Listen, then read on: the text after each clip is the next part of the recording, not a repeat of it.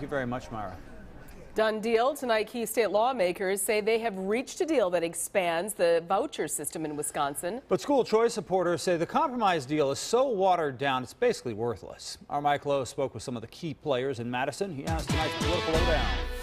Bartering in the back rooms. It has been a busy few days here at the state capitol as key senators hammer out framework on school vouchers. Tonight, it appears they have a deal. He showed me the deal, which I was part of. State Senator Luther Olsen is the chairman of the Senate's Education Committee. He says a handful of lawmakers have been meeting with the governor behind closed doors. The uh, majority leader in the Senate, the president of the Senate, uh, the Speaker of the Assembly, who are all party to this. Now he says they've all worked out a deal that would expand school vouchers statewide, but drastically scale back the governor's original proposal. I've ha now had four meetings with the governor this week. Senate President Mike Ellis, a Republican from Neenah, was the chief critic of Walker's original plan. I know I can't get everything I want, and the governor knows he can't either. I figured I wouldn't get exactly what I asked for in the form that I asked for, but I wanted to have more money for public schools.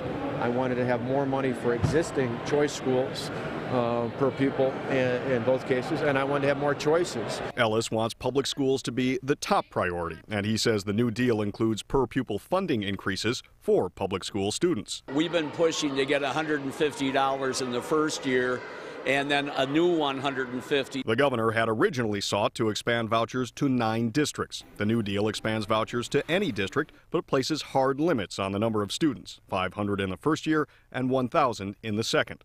Everything starts out small.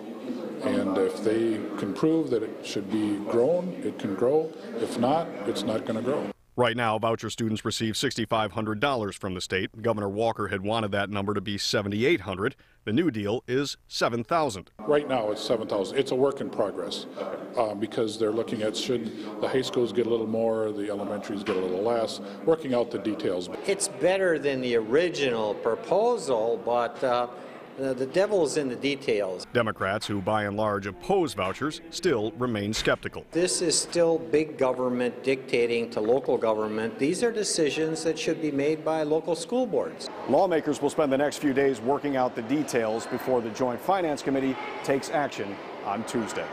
Reporting at the state capitol in Madison, Mike Lowe, Fox 6 News. After almost a year, Milwaukee County has a new parks director. This comes after a